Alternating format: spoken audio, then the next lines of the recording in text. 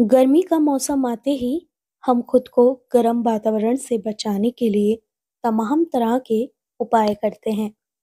ऐसे में अपने खान पान पर विशेष ध्यान देना पड़ता है ताकि हमारी सेहत दुरुस्त रहे। गर्मियों में अक्सर सत्तू को डाइट में शामिल करने की सलाह दी जाती है, क्योंकि इसमें मौजूद पोषक तत्व शरीर को लू नहीं लगने देते। मेरा नाम डॉक्टर मोहम्मद इकबाल। मैं ज़िला चिकित्सालय रामपुर में आयुष विंग में कार्यरत हूँ चिकित्सा अधिकारी आयुष के पद पर। मुझे यहाँ पर बारह साल हो गए। सत्तू जो है, वो आपको एक तो पानी की कमी को दूर करता है, बॉडी को हाइड्रेटेड रहता है, और उसमें मिनरल्स और प्रोटीन्स होते हैं तो उसकी वजह से क्या होता है, आपका एक बैलेंस जो बॉडी में होता है मिनरल्स का, वो बना रहता है।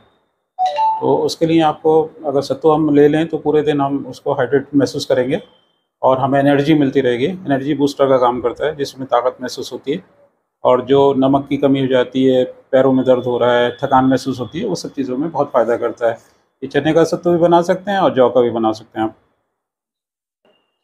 इसके तो बहुत से फ़ायदे हैं। आप अपना अगर बहुत लोग जिन लोगों का वज़न बढ़ जाता है, वो अपना वज़न कंट्रोल करने के लिए भी बहुत अच्छी फ़ायदेमंद चीज़ है।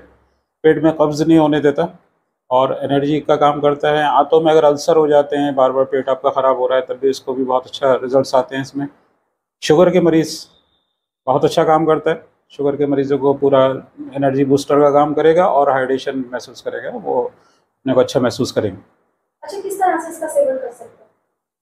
इसको बना के आप पानी में घोल के लीजिए। दो दो चम्मच एक एक घंटे पे आप ले सकते हैं इसको। पानी में डाल के या उसको मठे में डाल के ले सकते हैं आप। दही में मिला के भी ले सकते हैं। हाँ, इसकी डिश बना के भी खा सकते हैं लड्डू की शक्ल में बना के खा सकते हैं। ये सब चीज़ें तो आपको इसको बहुत फ़ायदे होते हैं